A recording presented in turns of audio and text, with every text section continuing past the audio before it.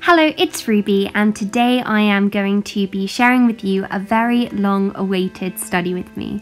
I have not filmed one of these for such a long time, and so I really do apologise because I've been getting so many requests to do another one. But today I decided to share with you my very first study with me at university. So this morning I started work at about half six, and I just started off by reading this commentary on the book of Job.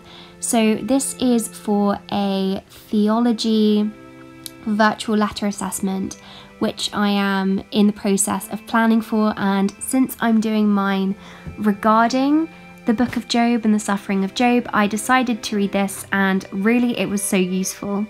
I really wanted to read the whole thing this morning, so I spent about an hour and a half doing this. It didn't take too long, uh, but it did eat up a sizable portion of my morning.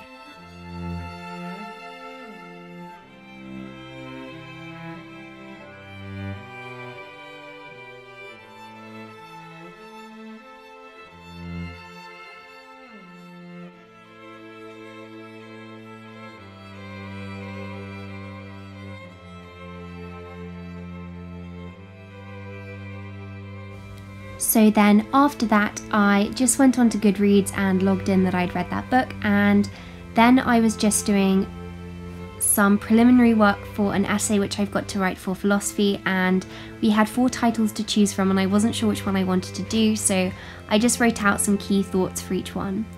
And then I decided to just read the introduction to this book on Plato and postmodernism. So then next I decided to make a Quizlet set and I just made this one on Locke and Leibniz, I believe. Um, it was basically just going through all of my lecture notes and extra reading and making a Quizlet which I could easily revise from at a later date because it's good to stay on top of making your revision resources. Then the next thing I decided to do was write up the notes from my most recent Bible past and present lecture. I really like to keep on top of this because note writing is some of the most boring and passive revision that you can do, and so it's so much more manageable if you just keep on top of it.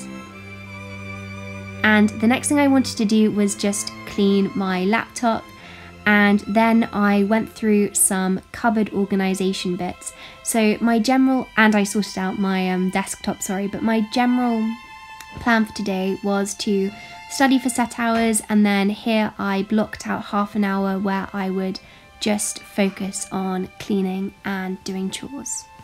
But I got everything done that I wanted to get done during that time, so I decided to give myself a break and watch this video of Jade's, uh, which I hadn't actually watched. It was a really old video. So then I just finished off writing the Bible past and present notes, which really didn't take very long. And I also wrote up some notes for evidence and argument. So I like to write these up on my iPad because there are lots more diagrams. Um, it this module is on Logic, so it's much more useful to be able to handwrite it and then after that I had a lecture to go to. I'm just walking back from the workshop now and I will basically get back with studying when I'm back in my room. So when I got back in, I decided to just look through the news. I like to try and keep up to date with the news and this is a story which we were talking about today in one of the workshops, so I just decided to look through it, do a tiny bit more research.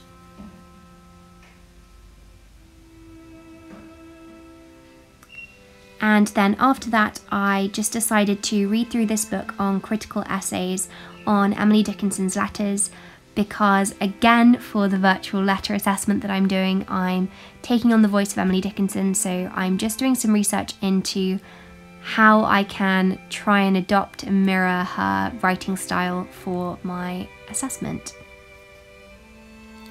And after that, I went straight to a lecture and then I went straight on to a Harry Potter social, which I will show you just now. Yeah,